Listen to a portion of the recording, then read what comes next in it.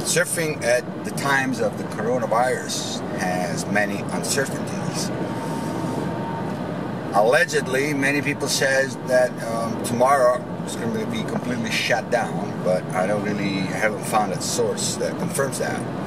Meaning, if, it, if surfing is an outdoor solitary activity, it should still be possible. But just in case, today might be the last day, I'm gonna try to milk it as much as I can. Beautiful waves on the Lahaina side, I hope. So let's see how it goes.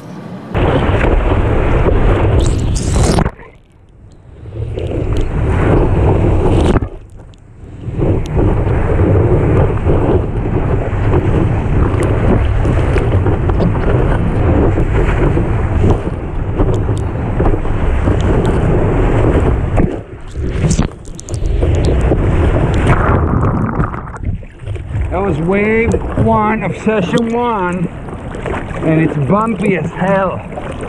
There must be some onshore flow kind of between Lanai and here, and that's a hell of a bump. I might have to leave. Okay, I had session one. Now I'm looking at another spot. There's a really nice set putting in. This guy is totally ripping. While I document a set at this extremely fickle spot, oh, fecal sounds like fecal, I just realized. We're gonna listen to a very practical advice in case you're losing your hair. About 60% of men are substantially bald by the age of 50. One man in five achieves that condition by 30. Little is understood about the process, but what is known is that a hormone called dihydrotestosterone tends to go slightly haywire as we age, directing hair follicles on the head to shut down and more reserved ones in the nostrils and ears to spring to dismay in life. The one known cure for baldness is castration. Easy. So the first session in Lahaina was a little bumpy, as I was saying, and the onshore flow stayed on. It still is on. That is due to the strong trades on the other side. I am 100% convinced about that. That's why I say when the trades are strong, it kind of screws up everything. But there's hopes. Uh, Thousand Peaks is blowing 30 miles per hour offshore, so it's not doable. A couple of spots in between were okay, but packed. And uh, went online and checked the wind reading, the webcams. I'm gonna give Narkihe a try.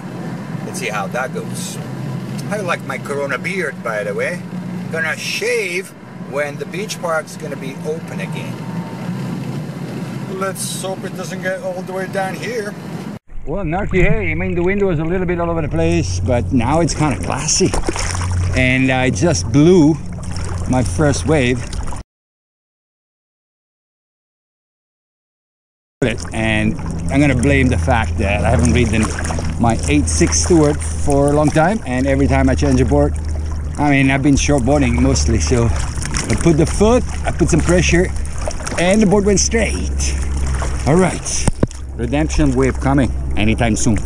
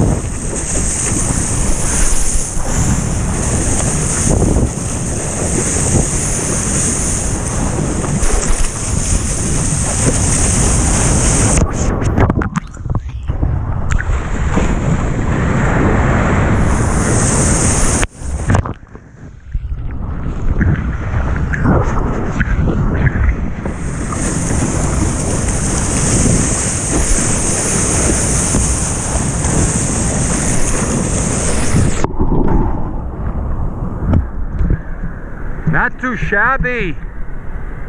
That sure was a fun longboard session. I'd like to thank my physical therapist, Erika Fabian, for fixing me up, giving me the right exercise. And my rib, Erika, doesn't hurt at all today. Wonderful job. Thank you very much. There's a link to her business on the right column on my blog. I strongly recommend her. So this morning I duck dove my board straight into the reef. Nothing I could have done about it. It was pretty far out, but the thing sucked up. And thank God, Hi-Tech is still open. Very limited, knock on the door one at a time. But if you need something essential, like a ding repair kit, there was a guy before, he lost a fin, that's where you can go. That is as of today. Because tomorrow, who knows? It's a little bit of too much guessing. I mean, it'd be nice if the authorities would say, yes, you can surf, no, you cannot. Or maybe it's better to leave it a little gray. Okay, hulk coating. I always suck the hulk coating. So it appears that the governor himself said that surfing is legal.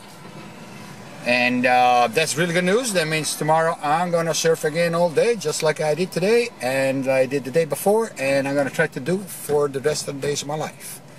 Not sure I'm going to do a video, but you never know. I should just do the coronavirus surfing video collection. I should start. Number one was today. And we'll check the progress on the beard, too.